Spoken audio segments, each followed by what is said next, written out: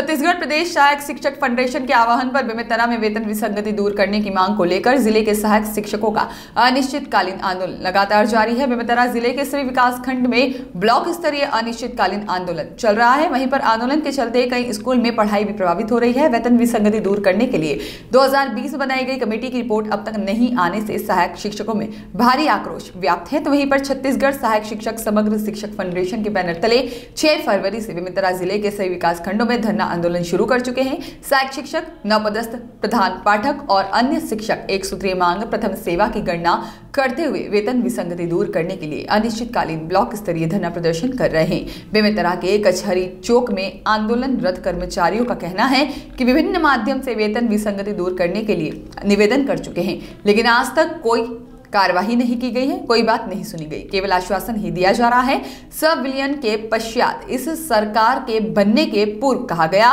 कि हमारी सारी बातें मानी जाएगी। सहायक शिक्षकों की वेतन विसंगति दूर कर दी जाएगी, लेकिन आज तक उनके द्वारा यह वादा पूरा नहीं किया गया है। दिसंबर 2020 की हड़ताल अवधि के दौरान कहा गया कि सहायक शिक्षक पहले पदोन्नति ले ले, उसके बाद बाकी बचे हुए साथियों की वेतन विसंगति को दूर कर दिया जाएगा। पर इस पर भी खरे नहीं उतरे और अपने वादा को नहीं निभाया गया। इसी क्रम में छत्तीसगढ़ सहायक शिक्षक समग्र शिक्षक फाउंडेशन द्वारा चरणबद्ध तरीके से आंदोलन करने का निर्णय ले चुके हैं। संगति के लिए 2013 से जो वेतन बना है उसमें वर्ग तीन जो पहले नाम था आ, उसको सहायक शिक्षक किया गया लेकिन सिर्फ़ नाम बस बदला है हमारी वेतन विसंगति दूर नहीं हुई है। पहले क्या थी एक और दो और तीन लगभग एक या दो हज़ार का बस अंतर रहता था। लेकिन अभी हम देखते हैं एक और दो का जो है व्याख्याता और शिक्षक का जो वेतन है वो लगभग सामान्य है लेकिन हमको बहुत पीछे कर दिया गया है। हमारी सरकार से यही मांग है कि हमारी वेतन विसंगति को दूर किया जाए। मांग पूरी नहीं होगी तो फिर क्या करोगे आगे? आगे अनिश्चितकालीन हड़ताल है फिर हमारे पास जो है रहता है सबके पास जनता के पास उसका इस्तेमाल करेंगे।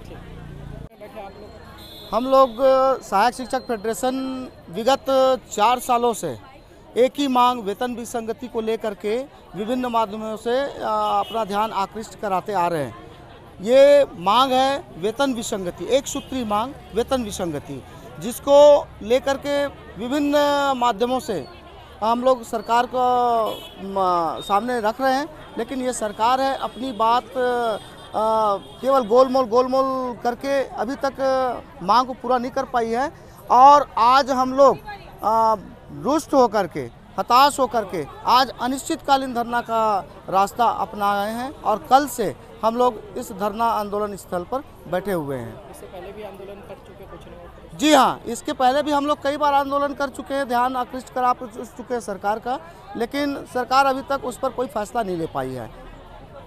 क्या फिर आने वाले दिनों में आप लोग की क्या फैसला रहेगा फिर आगे? अगर सरकार इस पर कोई ठोस पहल नहीं करती है, निर्णय नहीं लेती है तो हमारा आंदोलन का विस्तार करते हुए हम लोग इसको रायपुर में अनिश्चितकालीन में परिवर्तित करेंगे।